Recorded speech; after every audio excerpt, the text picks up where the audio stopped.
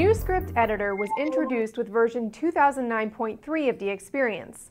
While it offers numerous features, we've continued to improve it by integrating our XtraRichEdit control as the main editing component in the script editor.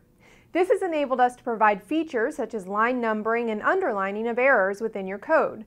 Several code-aware features have also been integrated using code extracted from our CodeRush and Refactor Pro products. These features are coming up in the version 2010 Volume 2 release, so let's see them in action. Here I have the Ribbon Report Designer application open.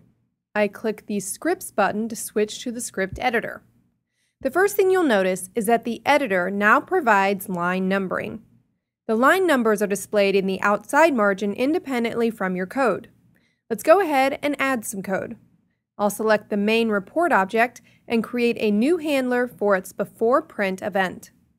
The event handler code is added, and you can see that syntax highlighting is also provided by the editor. I'll paste in some more code. Notice that the word value is automatically detected to be within a property declaration and therefore a reserved word hence the blue color of the text.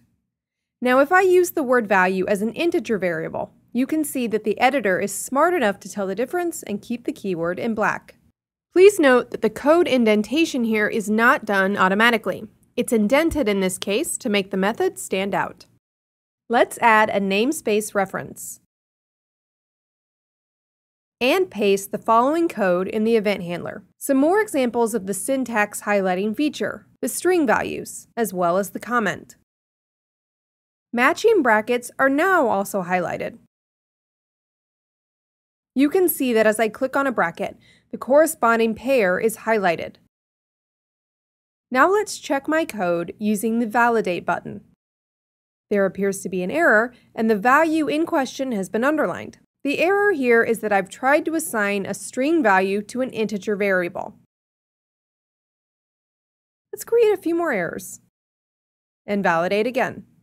So you can see that in addition to the errors list at the bottom of the window, each error is also underlined within the editor.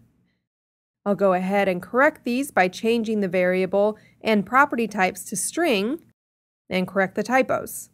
Validate again, and everything is correct. Another code-aware feature in the new script editor is that existing event handlers are detected automatically based on their event signature. This means that they can be reused for other objects, bands, or reports. So for example, you can see that the before print event of report 1 is assigned to the method I created earlier.